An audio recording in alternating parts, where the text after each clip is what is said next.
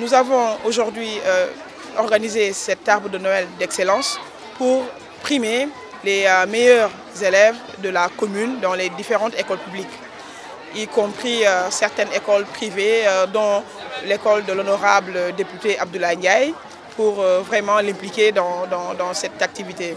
Pourquoi cette, cette activité C'est plutôt pour motiver ces enfants qui, excellent dans leur classe, mais aussi leur permettre davantage de mieux travailler en classe.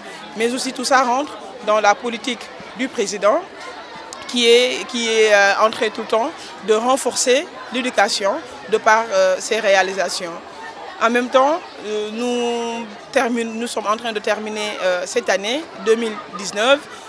On en a profité plutôt pour euh, célébrer euh, la fin de cette année en beauté, mais aussi euh, participer à l'éducation sociale de la commune. C'est un quartier populaire et il y a des familles qui sont là. Il y a des familles vulnérables aussi, comme on peut le dire. C'est les raisons, bien aussi l'objectif visé par exemple, si on motive ces enfants, ça va leur euh, permettre plutôt de mieux s'impliquer en classe pour, euh, dans le long terme, devenir euh, les futurs dirigeants de, demain.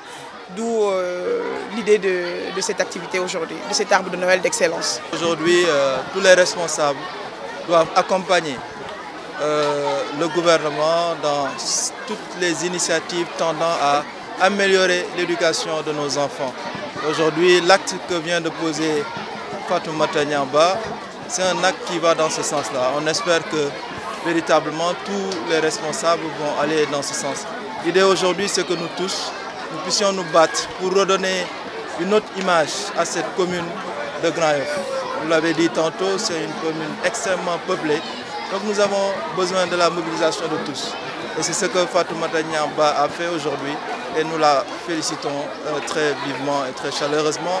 Et nous souhaitons bonne fête à toutes les populations de la commune de Grain.